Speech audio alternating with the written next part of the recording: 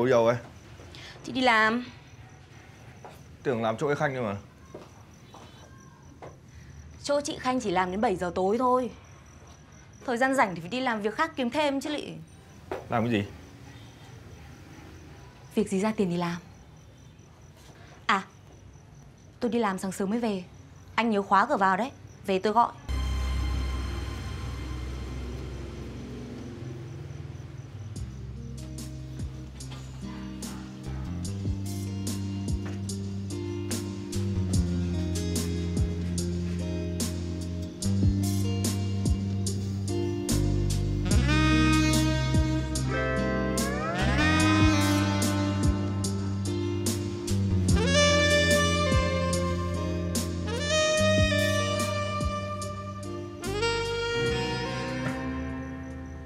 Về rồi đấy à? Nhà vệ sinh ở đằng kia nhá. Anh dùng thì cứ dùng đi Nhưng mà đừng động vào đồ tôi đấy.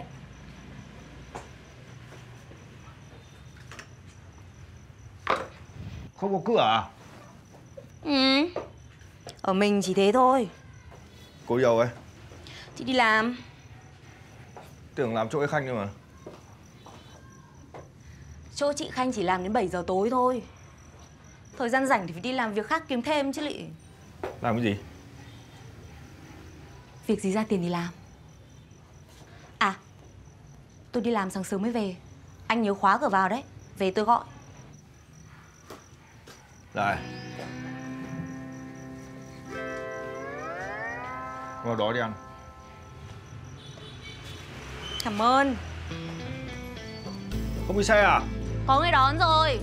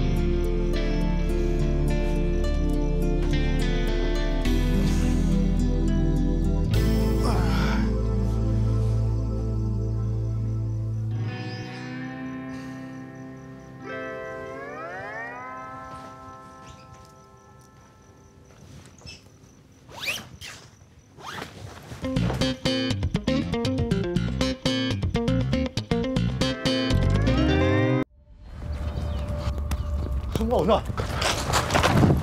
Bọn nó phát hiện ra mình rồi. Với số tiền này Tao với mày đủ để làm lại cuộc đời. Đi đi Đi. Chạy đi.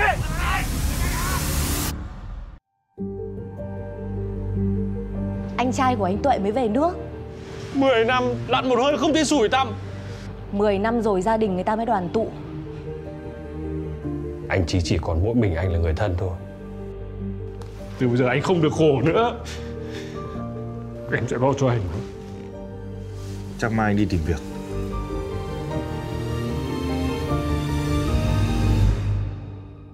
Mày muốn cộm luôn số tiền đấy. Định né tao à?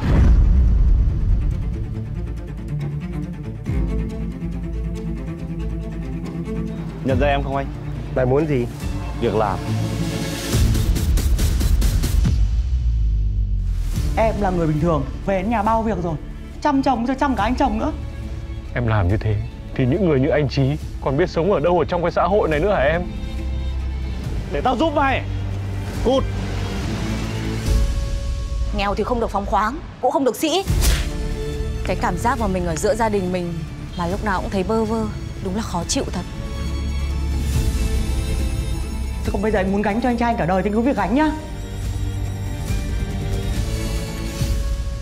Nhưng chúng ta là người nhà mà Người trong một gia đình mà Thông cảm cho anh em anh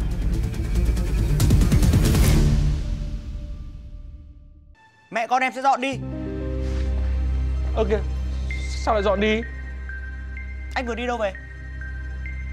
Thì anh đi làm về Bác Chí cũng đi làm à? Ừ Các anh coi tôi là cái gì hả? Định dắt mũi tôi đến bao giờ nữa? Có cái gì đâu mà em sồn sồn lên thế Anh xem đi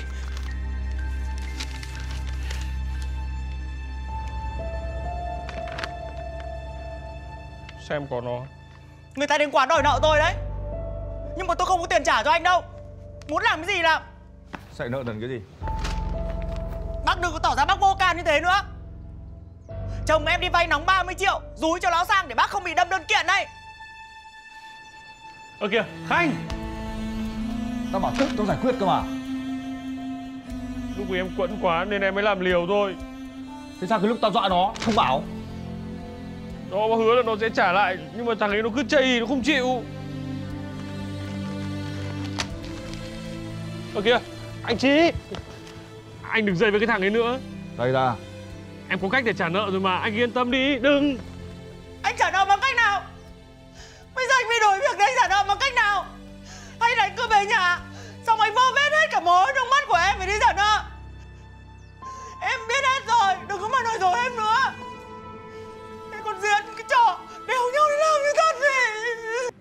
đâu? Tiền thì không có Người thân thì không. Anh định sống thế nào? Bạn tao đón rồi Đang ở nhà nó. Nhà bạn nào? Anh gửi địa chỉ cho em đi. Em sẽ qua đấy em đón anh về. Mày bị thần kinh à?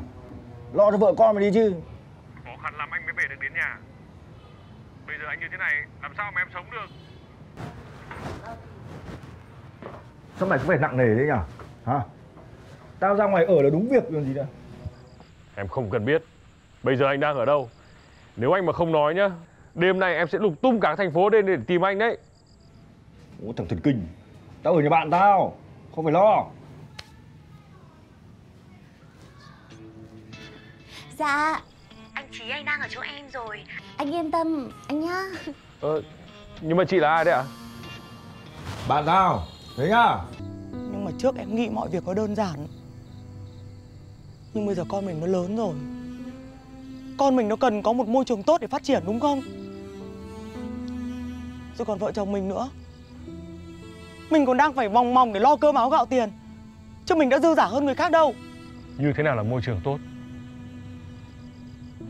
Anh như này. Anh chỉ anh nuôi anh Dạy anh đến giờ phút này. Anh vẫn trưởng thành đấy thôi. Anh có trở thành một thằng đầu trộm đuôi cướp không? Em không làm gì sai cả Nếu mà ngay từ đầu anh và bác Trí nói rõ sự thật với em Thì tất cả mọi chuyện nó đã không như thế này rồi. Đúng. Đấy là lỗi của anh. Anh xin lỗi em được chưa? Nhưng em có dám thề giữa trời này Là nếu như anh nói thật Thì em không cư xử như thế này không? Cô dâu ấy. Chị đi làm. Tưởng làm chỗ cái khanh cơ mà. Chỗ chị Khanh chỉ làm đến 7 giờ tối thôi. Thời gian rảnh thì phải đi làm việc khác kiếm thêm chứ lị Làm cái gì? Việc gì ra tiền thì làm. À Tôi đi làm sáng sớm mới về. Anh nhớ khóa cửa vào đấy. Về tôi gọi. Đây Vào đó đi ăn. Cảm ơn.